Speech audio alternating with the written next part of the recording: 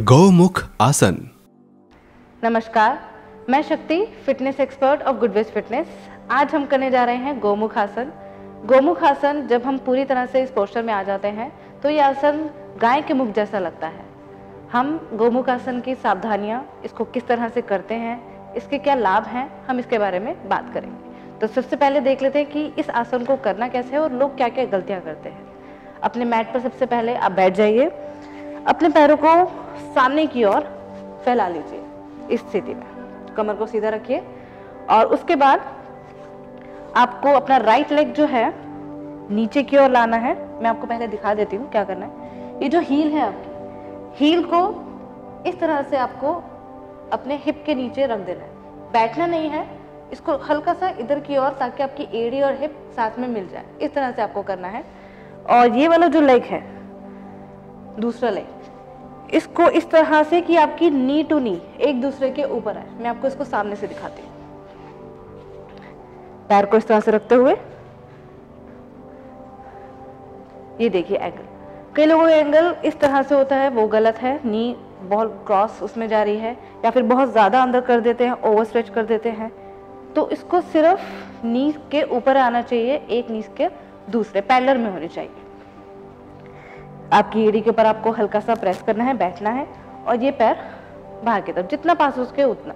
और एक comfortable poster में कमर को सीधा रखना है। ये आपका फाइनल पोस्टर है लेग के अकॉर्डिंग अब इसमें हाथों की मुद्रा क्या है?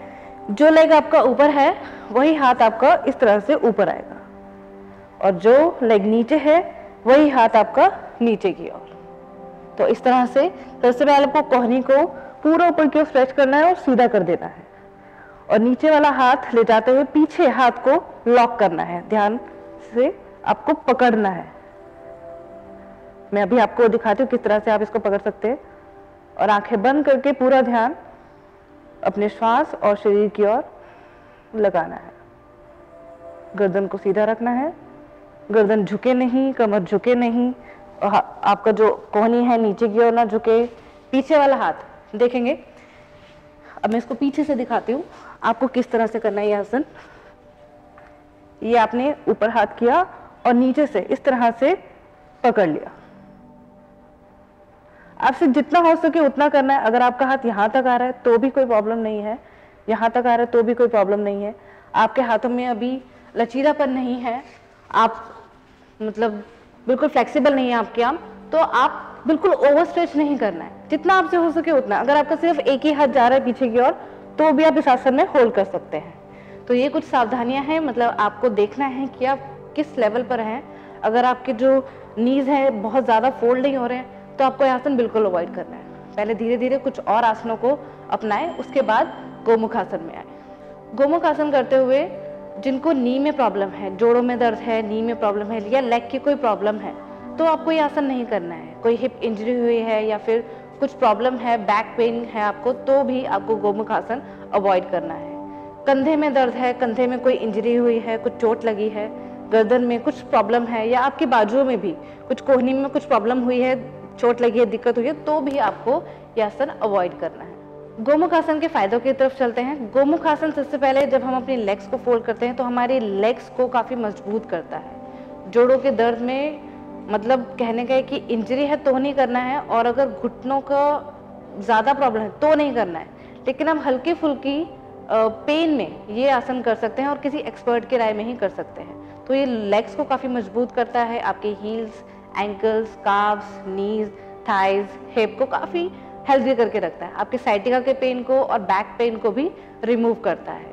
जब आपके हाथ पॉस्चर सीधा होता है तो आपके जो ऊपर का जो एरिया है, झुके हुए कंधे जो हैं काफ़ी अच्छे फाइन पोस्चर में आते हैं और सीधे हो जाते हैं। मतलब पोस्चर की डिफॉर्मिटी को रिमूव करता है। आपकी आर्म्स को टोन बनाता है। जितना आप खिंचाव करते हैं, आपकी आर्म्स टोन होती हैं। आपकी जो अपर बॉडी है, काफ़ी लचीली हो जाती है और ये डायबिटीज़ के लिए भी काफ़ी अच्छा आसन है। गोमुख आसन, जिनको सर्वाइकल की प्रॉब्लम है या कंधों में प्रॉब्लम है, दिक्कत है, दर्द है तो उसको भी ये रिमूव करता है। ध्यान रखना है कि ओवर स्ट्रेचिंग ना हो। जिनको अस्थमा है मतलब ये आपके फेफड़ों को काफ़ी ऑक्सीजन प्रदान करता है। तो अस्थमा जिनको है, उनके लिए भी काफ़ी अच्छा पोस्टर है, काफ़ी अच्छा आसन है गोमुख आसन मन को भी शांत करता है, एकाग्र करके रखता है। जिन, जो लोग ध्यान करते हैं, वो ये आसन ज़्यादातर पोस्टर को, इस पोस्टर को अपनाते हैं। तो ध्यान के पॉइंट ऑफ़ व्यू से भी ये आसन बहुत ही अच्छा है। मतलब आप, ध्यान में आपको हाथ ऊपर नहीं करने हैं, सिर्फ़ इस पोस्टर में बैठकर भी आप ध्यान कर सकते हैं। तो ये कुछ सावधानियाँ और कुछ लाभ जो आप देख कर समझ कर सीख कर पोस्टर को अच्छी तरह से कर सकते हैं। आई होप आपको ये वीडियो अच्छा लगा होगा। हम फिर मिलते हैं। धन्यवाद।